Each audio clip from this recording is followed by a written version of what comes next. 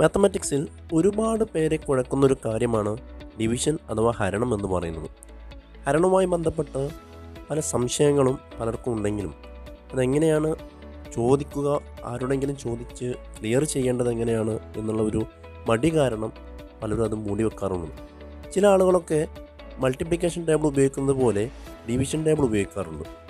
നമുക്ക് എങ്ങനെയാണ് ഹരണത്തിന്റെ പ്രോസസ്സ് ഡിവിഷന്റെ പ്രോസസ്സ് എങ്ങനെയാണ് ചെയ്യുന്നതെന്ന് നോക്കാം.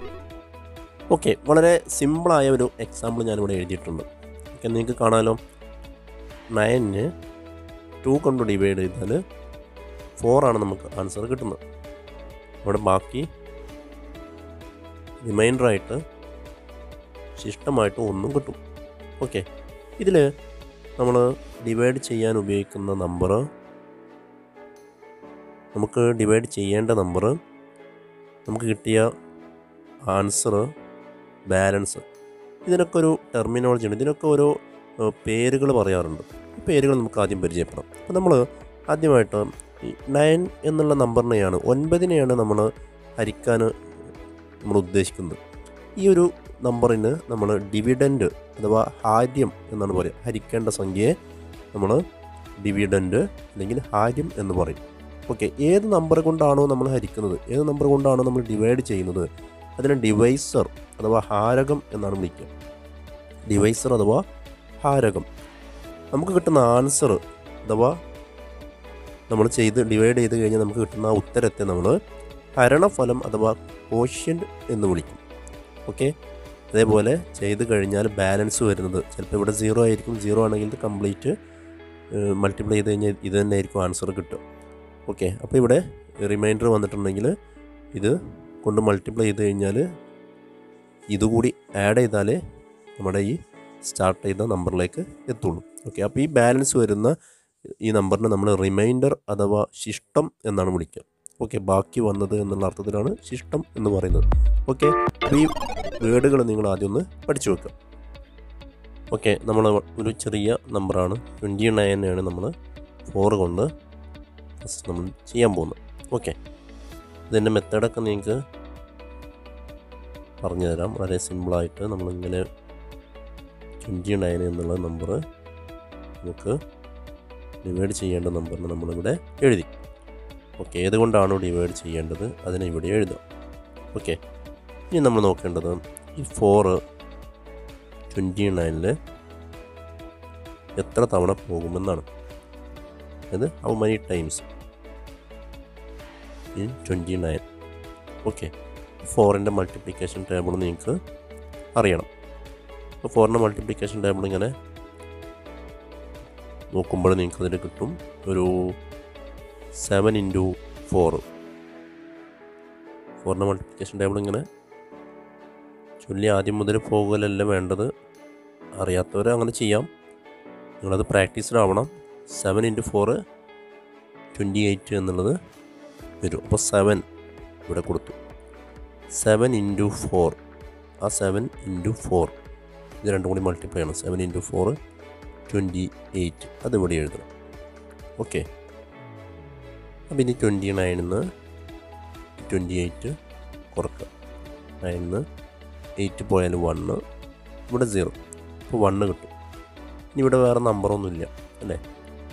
നമുക്ക് ഇതിന്റെ കോഷ്യന്റായിട്ട് അതായത് ഭരണഫലമായിട്ട് ഏഴ് കിട്ടി ആൻസറായിട്ട് ഏഴ് കിട്ടിയിട്ടുണ്ട്.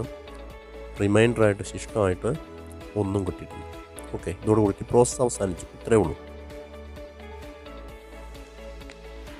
ഓക്കെ അടുത്ത ഇതേപോലെ ഒരു നമ്പർ എഴുതിയിട്ടുണ്ട്. നൂറ്റി പതിനൊന്ന് ഹരിക്കണം രണ്ട്. ഓക്കെ അപ്പോൾ ഇവിടെ നമ്മൾ നോക്കേണ്ടത് ടു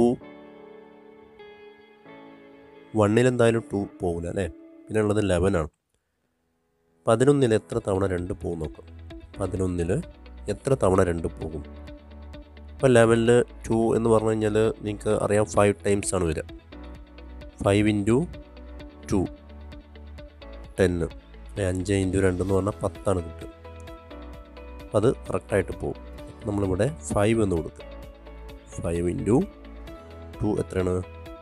ടെൻ ആണ്. അത് ഇതിന്റെ താഴെ എഴുതുക ഓക്കെ. ഇനി പതിനൊന്നൊന്ന് പത്ത് ലെസ് ചെയ്യണം. എത്ര കിട്ടും? ഒന്ന് കിട്ടും. പ്രോസസ്സ് കഴിഞ്ഞിട്ടില്ല. നേരത്തെ ഇവിടെ കഴിഞ്ഞിരുന്നു. കാരണം അതോടുകൂടി നമ്പറൊക്കെ അവസാനിച്ചിരുന്നു. ഇവിടെ ഒരു നമ്പർ കൂടി കിടക്കുന്നുണ്ട് അല്ലേ? ആ നമ്പർ നമ്മൾ താഴേക്ക് കൊണ്ട് ഇറക്കി എഴുതണം. അപ്പോൾ വീണ്ടും ഒരു ലെവൽ കിട്ടി. ലെവലിൽ വീണ്ടും ഫൈവ് ടൈംസ് പോകും അല്ലേ? ഫൈവ് ഇന്റു ടു ടെന്ന് കിട്ടും. അവസാനിച്ചു. ഇനി ഇതിൽ നിന്ന് ഒന്നും കൂടെ താഴേക്ക് എഴുതാനില്ലല്ലോ. അപ്പോൾ നമുക്കിവിടെ ഫിഫ്റ്റി ഫൈവ് ആണ് ആൻസർ റിമൈൻഡർ വണ്ണ് എന്ന് കിട്ടും. ഓക്കെ ഇനി നമ്മൾ മുതിർന്ന ക്ലാസ്സുകളിൽ പഠിക്കുന്നവരാകുമ്പോൾ നമ്മൾ ഈ റിമൈൻഡർ കണ്ടുപിടിക്കാനുള്ള കേസുകൾ വരികയാണെങ്കിൽ ഓക്കെ നമ്മൾ ഇവിടെ വെച്ച് അവസാനിപ്പിക്കാം. നമുക്കിതിന്റെ ഫൈനൽ ആൻസറാണ് കിട്ടേണ്ടതെങ്കിൽ അതായത് ഡെസിമലൊക്കെ വെച്ച് ദശാംശ രൂപത്തിലുള്ള ആൻസറാണ് കിട്ടേണ്ടതെങ്കിൽ നമ്മൾ ഇവിടെ നിന്ന് വീണ്ടും ചെയ്യേണ്ടതുണ്ട്. അതെങ്ങനെയാണെന്നുള്ളത് നോക്കാം. ഇവിടെ ഞാൻ വീണ്ടും ഇത് കണ്ടിന്യൂസ് ആയിട്ട് ചെയ്യണമെന്നുണ്ടെങ്കിൽ ഇനി ഇവിടുന്ന് ഒന്നും താഴേക്ക് ഇറക്കി എഴുതാനൊന്നുമില്ല. അപ്പം നേരെ നമ്മുടെ വക ഒരു സീറോ കൊടുക്കുക. ഇവിടെ നമ്മുടെ വക ഒരു സീറോ കൊടുത്തു കഴിഞ്ഞാൽ ഇവിടെ എന്ത് ചെയ്യണം? പോയിന്റ് മാർക്ക് ചെയ്യണം. ഇപ്പം ടെന്നായി ടെന്നിൽ ടു ഫൈവ് ടൈംസ് ആണ്. അഞ്ച് തവണ പോകും അല്ലേ? അപ്പോൾ അഞ്ച് ഇന്റു രണ്ട് പത്ത്. സീറോ ആയി. കഴിഞ്ഞു. റിമൈൻഡർ ഇനി ബാലൻസ് വരുന്നില്ല അപ്പോൾ correct fifty five point five എന്ന് ആൻസർ കിട്ടും. ഇവിടെയാണെങ്കിലോ? ഇവിടെയാണെങ്കിൽ നമുക്കിതേപോലെ നമ്മുടെ വകയായിട്ടൊരു സീറോ കൊടുക്കാം. അപ്പോൾ ഇവിടെ പോയിന്റ് കൊടുക്കുക. അപ്പോൾ ടെന്നിൽ ഫോറ് ടു ടൈംസ് ആണ് അല്ലേ? ടു ഇന്റു ഫോറ് എയ്റ്റ് പത്തൊന്ന് എട്ട് ലെസ് ചെയ്ത് കഴിഞ്ഞാൽ എത്ര കിട്ടും? രണ്ട് കിട്ടും. വീണ്ടും സീറോ കൊടുക്കുക. റിമൈൻഡർ വന്നു വീണ്ടും സീറോ കൊടുക്കുക. ഇപ്പോൾ വീണ്ടും ഇവിടെ പോയിന്റ് കൊടുക്കേണ്ട ഒരു തവണ കൊടുത്താൽ മതി. അപ്പോൾ ട്വന്റി ആയി ഇരുപതായി. ഇരുപതിൽ നാല് അഞ്ച് തവണയാണ് പോകുന്നത്. അഞ്ച് ഇന്റു നാല് ഇരുപത്. അവസാനിച്ചല്ലോ. ഇനിയിപ്പോൾ അവസാനിച്ചാലും ഇല്ലെങ്കിലും നമുക്ക് ഒരു പോയിന്റ് കഴിഞ്ഞാൽ രണ്ട് നമ്പർ വരെ നമ്മൾ ചെയ്താൽ മതി. ബാക്കി ഇവിടെ ഇങ്ങനെ അവസാനിക്കാതെ പോവുകയാണെങ്കിൽ നമുക്ക് എന്ത് ചെയ്യാം? രണ്ട് നമ്പർ വരെ കിട്ടിക്കഴിഞ്ഞാൽ നമുക്ക് നിർത്താം. രണ്ട് നമ്പർ വരെയൊക്കെ നമ്മൾ എടുക്കാറുള്ളൂ. ഓക്കെ അപ്പോൾ ഇങ്ങനെയാണ് അതിന്റെ കാര്യങ്ങളെന്ന് പറഞ്ഞു ഓക്കെ അടുത്തത് നമ്മൾ മുന്നൂറ്റി പതിനഞ്ച് ഡിവൈഡ് ബൈ ഫൈവ് അല്ലെ? മുന്നൂറ്റി പതിനഞ്ചിന് അഞ്ച് കൊണ്ട് ഹരിക്കുകയാണ്. ഓക്കെ നമ്മളിങ്ങനെ ആദ്യം മുന്നൂറ്റി പതിനഞ്ചിന് അതിനുള്ളിൽ എഴുതി. അഞ്ച് കൊണ്ടാണ് ഹരിക്കുന്നത് ഡിവൈസറിന്റെ മുടി എഴുതി. ഇനി മൂന്നിൽ അഞ്ച് എത്ര തവണ പോകുമെന്ന് നോക്കിയാൽ പോകില്ല അല്ലേ? അഞ്ചിനേക്കാൾ ചെറിയ നമ്പറാണ് മൂന്ന്. നമ്മൾ മുപ്പത്തൊന്നിനെ സെലക്ട് ചെയ്യണം. മുപ്പത്തി ഒന്നിൽ അഞ്ച് ആറ് തവണയാണ് പോവുക. ആറ് ഇന്റു അഞ്ച് അല്ലേ? ഫൈവ് ഇന്റു സിക്സ് എത്രയാണ്? മുപ്പതാണ്.